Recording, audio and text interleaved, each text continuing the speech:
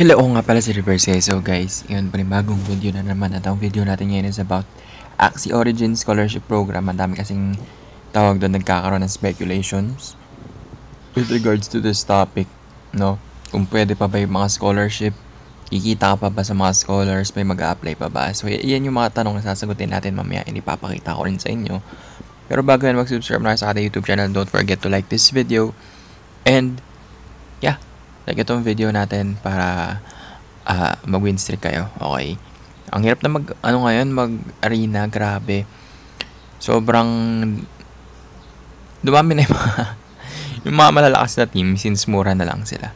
Dumami na sila. So, yeah. So, mag-subscribe kayo and don't forget to like this video para ma-update kayo for these kinds of videos. Let's start. So, ito na nga. Axie Origin is approaching. Napakalapit na niya.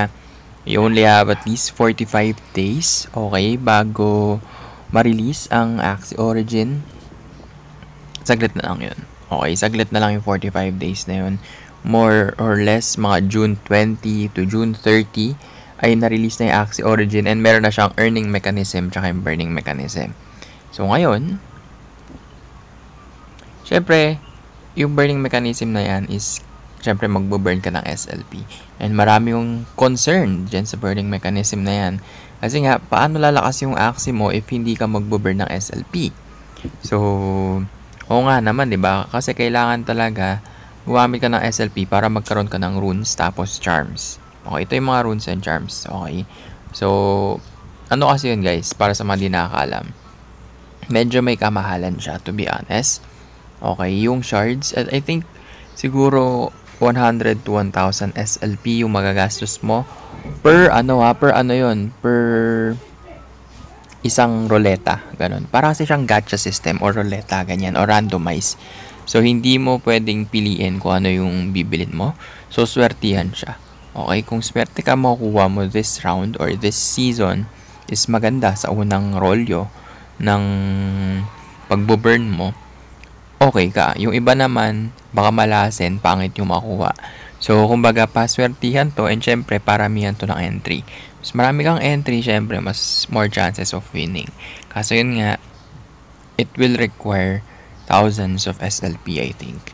Okay, pero I think it will also help din naman the tawag doon, the the ecosystem and the economy of the game. And, ayun. Tiyan natin dito. So, ito yung mga frequently asked questions na nakikita ko sa TikTok, Twitter, and Facebook. And YouTube, of course.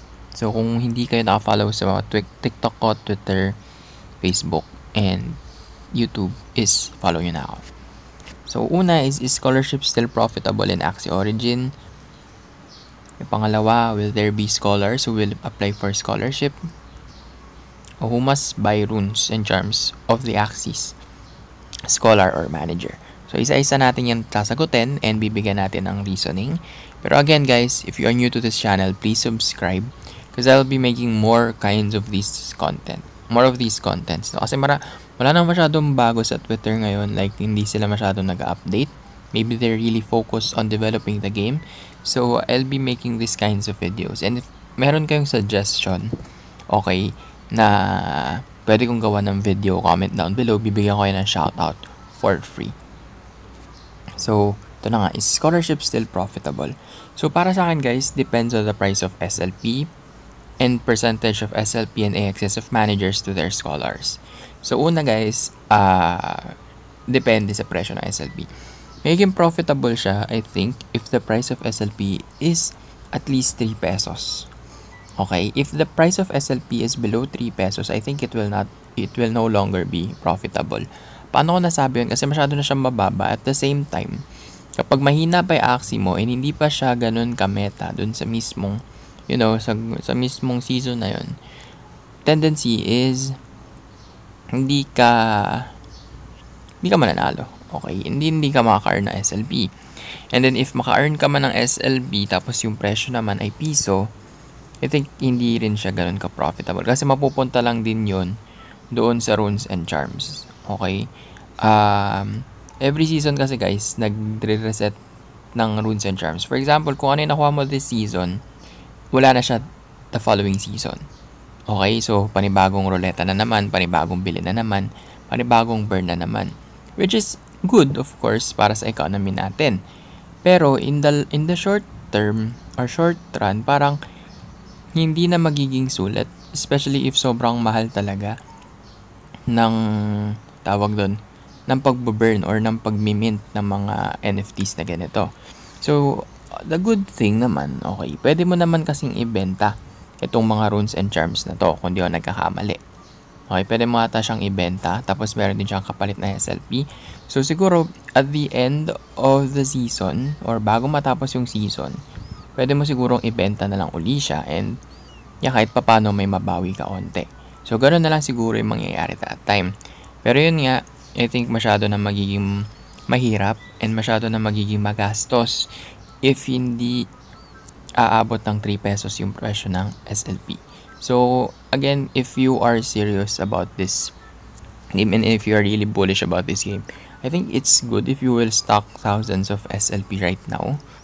Okay? And para sa mga upcoming seasons, especially sa mga scholars mo.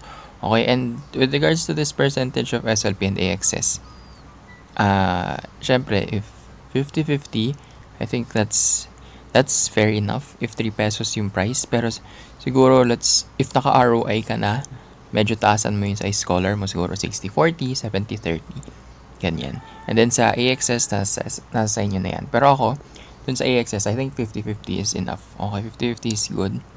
No, or 60-40, depende rin kung ROI ka na. Pero yeah, I think at least meron ka rin makuha dun sa AXS kasi yun nga, kaya nga sinabi ko, buwan-buwan kang, hindi man buwan-buwan, every 90 days kang mag-mint uli ng mga runes. So, good thing na meron kang pondo. Okay, and yung AXS na yon is yun yung magsaserve na pwede mo ipapalit sa SLP para yun yung gagawin mong pang exchange sa mga runes and charms. So next is, will there be scholars who will apply for scholarship? And again, depends on the price of SLP and percentage of SLP and AXS of managers to their scholars. Siyempre, depende, nakadepende naman talaga yun sa presyo ng SLP. So, once syempre naman na mag-trust naman yung SLP na yan, marami na nang mag-good day Germany. Good day Germany, good day manager, so yeah. So, yun lang naman. Uh, and syempre, sabi natin trust yung SLP. Or, oh, trust yung SLP at least. Pero yung hatian naman is 20-80. 20% sa scholar, 80% sa manager. Syempre, di ba, walang, walang kakanaan nun. So, I think the best way talaga, okay, is, you know, i-leverage natin. Okay, magkaroon tayo ng fair distribution or fair division ng SLP and AXS rewards sa manager and sa scholar. Yung mga scholar naman, huwag na masyadong ano, naman masyadong gahaman and suga pa, okay? Hindi na, hindi naman kayo namuhunan dyan. So, yung iba kasi parang sobrang ano na gusto 75-25 or 25-75. 25 sa scholar, 75, ay, 25 sa manager, 75 sa scholar. So, sobrang unfair naman nun. Diba? I think, the best is 70-30.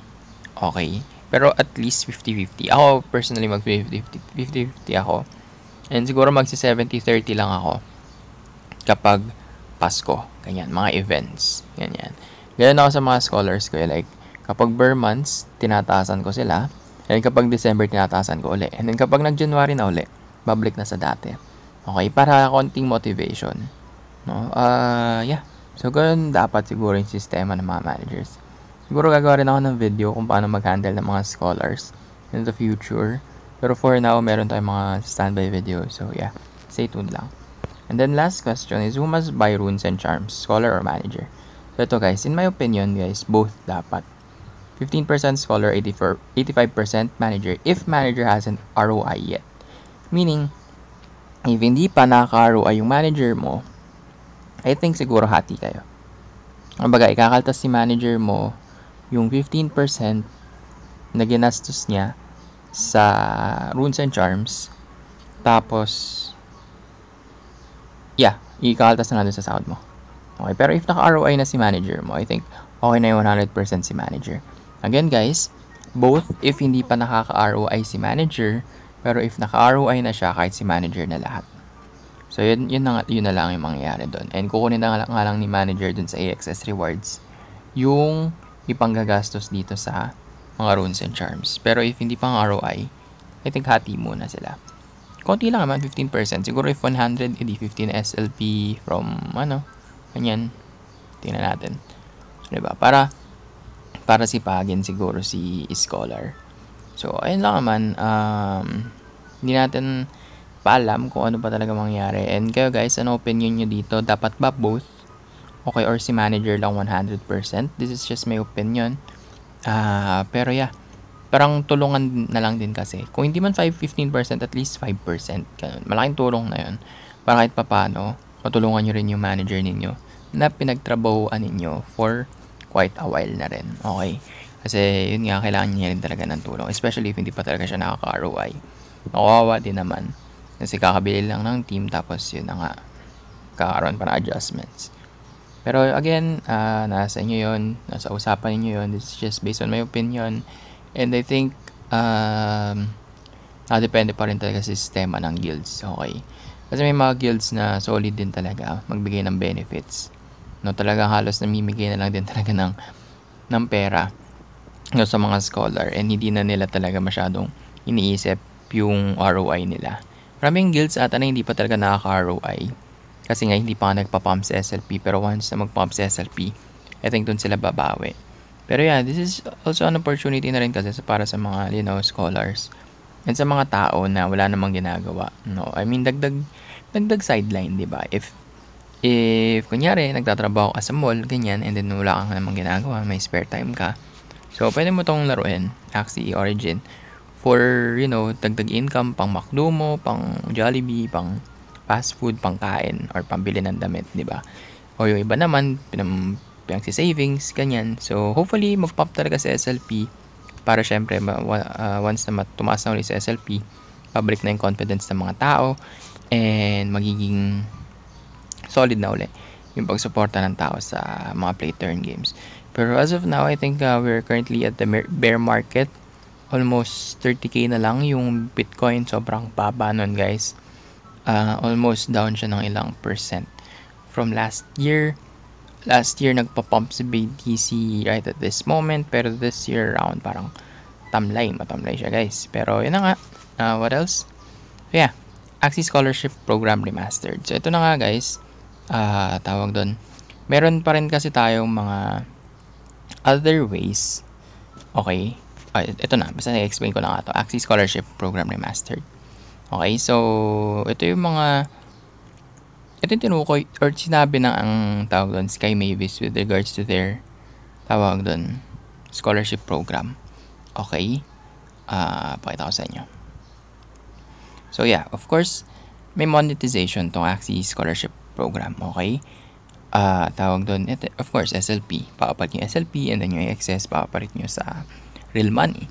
And then next is Siyempre, we have Axie Education. So, ano ba tong Axie Education na to? This is actually tutorials with regards to Axie Infinity and pwede rin sa crypto world, okay, uh, NFTs, Web3. So, sinabi rin yun na isa sa mga tao doon, founders ng Axie Infinity, na, na Axie Scholarship is not just limited to monetization kasi meron din silang other factors gaya nga nito, Axie Education. Actually, I'm really, really looking forward to Axie Education in the future kasi malay natin, di ba, talagang mag-explode si SLP, mabot siya ng 50 pesos per SLP.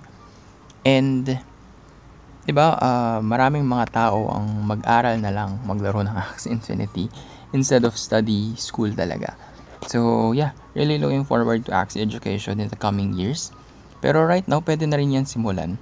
Okay, like yun nga, tuturo ko ano yung basics na Axie Infinity. Siguro ako yung pag-develop ng Axie Infinity, pag-develop ng mga, you know, NFTs, ng mga crypto, ng mga tokens, ganyan. So, yeah. And the next is we have Axie Art. This is just a sample. Pero hindi yan ata Axie Art. Oh, hindi yan Axie Art kasi ang gawa mismo yan Axie. Pero na Axie Art, uh, with regards to this naman, pwede magkaroon yung mga guilds ng mga artworks or art contest with regards to Axie Infinity. Pwedeng drawings, pwedeng structures, pwedeng, you know, ano pa ba, clay modeling. So, it's up to you, it's up to them, okay, na, you know, mag-develop or gumawa ng ganitong klase ng, uh, tawag doon, competition or tournaments inside their guild. No, ah, of course, as another source of income na rin, siguro yung magpo-first place ay tawag doon mag may premyo, ganyan. And then yung second place may premyo. It's up to them, okay? So, yeah. Kumbaga, building community na rin kasi talaga tong Axie Infinity. Okay? And the next is Axie Esports, of course. So, within the guild, pwede kayo magpa-tournament. And then, yeah, tingnan natin kung sino yung pinakamagaling. And then, sino may premyo, siya yung mananalo. Okay, of course. And may, ay kung sino nanalo, siya may premyo. Of course, ba? And pwede rin kasi pumasok dito yung mga sponsorships, ganyan. Yung mga other benefits. Di ba? Mali, may pumasok na sponsor like Jollibee, magbigay ng pakain, ganyan. So, it's all about the community na rin. Kasi wag, na, wag natin i-limit yung sarili natin na kapag scholar tayo is more on the SLP lang. So, pwede nga magkaroon ng education, Axie Art, and then Axie Esports. Okay, so, meron pang Axie Content create, creation, ganyan, gagawa ka ng videos. So, yeah, uh, malawak, malawak tong scholarship program na to. And, dapat yung mga guilds or yung mga managers, hindi nila i-limit yung mga ganitong klase ng uh, programs. Okay, hindi nila i-limit sa isang category lang. Hopefully, uh, mag-succeed talaga yung mga Axie managers, small-time managers, and magkaroon sila ng ganitong klase ng mga uh, programs and ano ba, activities. Ayan, para nang sa ganun, it will also serve as a marketing para sa Axie Infinity. No? Tapos, syempre, pag na-market natin siya, mas maraming investors yung pumapasok, maraming na-curious, uh, mas magiging healthy yung ecosystem, magiging healthy yung economy, and then magsi-circulate lang na magsi-circulate yung SLP in a good price. Okay, yung magandang presyo, yung profitable, yung magbe-benefit tayo lahat. So, yun lang. Hanggang sa muli ako sa Reverse Like, comment, subscribe. Buya. Yeah, we will all gonna make it. You just have to be patient.